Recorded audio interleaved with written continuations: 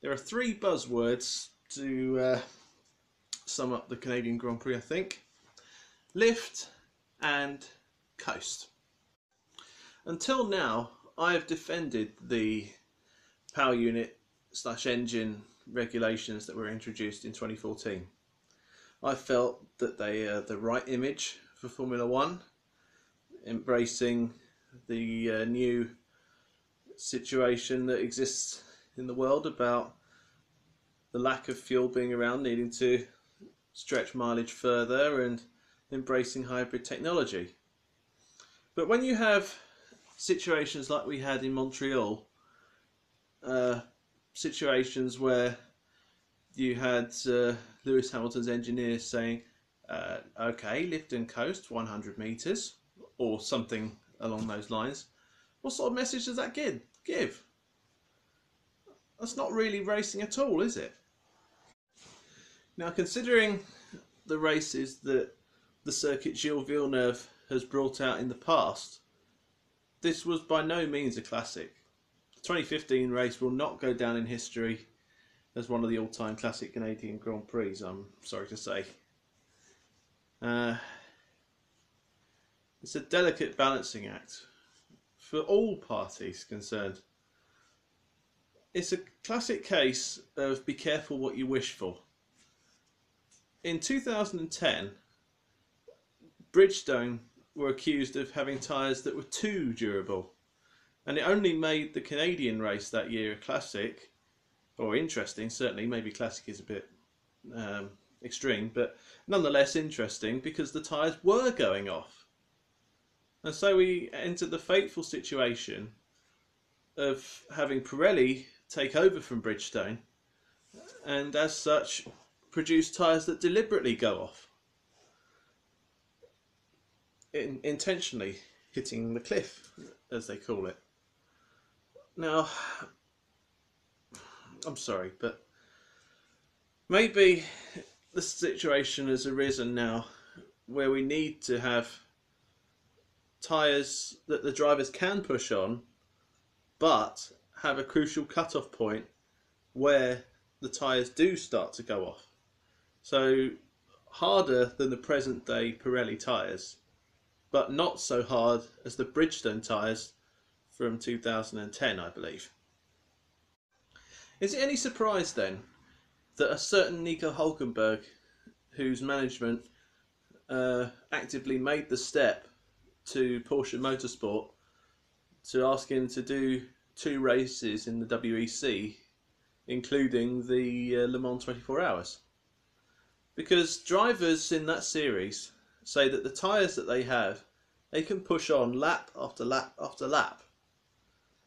And as the drivers in F1 have said, in F1 at the moment, the way the cars are, they're not even physically tested anymore mentally they're still tested because they think okay you need to hybrid need to harvest rather the MGUK need to harvest the MGUH um, but the tyres are the limiting factor like I've been saying.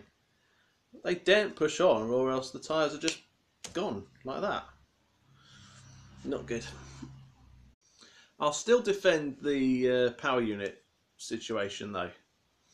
F1 does still need to show that it's in tune with the rest of the world. Um, excuse me. The noise, I believe, is not the main factor for the audience figures for F1 dwindling. It's more down to the lack of racing, or apparent lack of racing.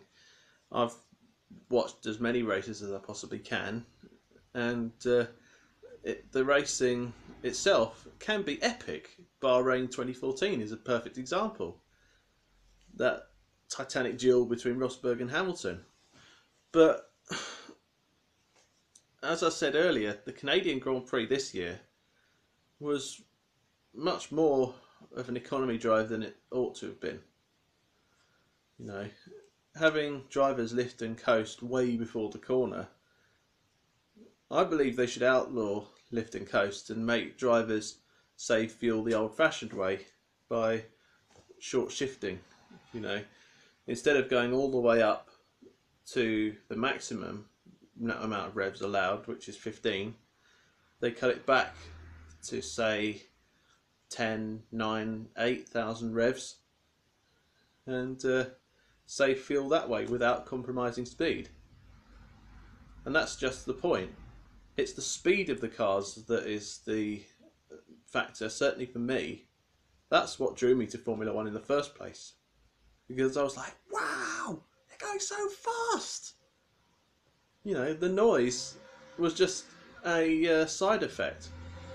That was what uh, attracted me to it the speed, not the noise. So let's think very carefully before we condemn the current engine regs even further still. On the subject of the Le Mans 24 hours though, I wish every driver taking part in driving the 56 cars on the grid on Saturday the best of luck. I really do because honestly, finishing that just finishing that grueling event is a victory in itself. Just coming first, even if it's overall in LMP1 or first in the lowest category, uh, Garage 99 or GTE AM, it's a victory in itself. You know, imagine driving for three stints at a time. It must be really grueling.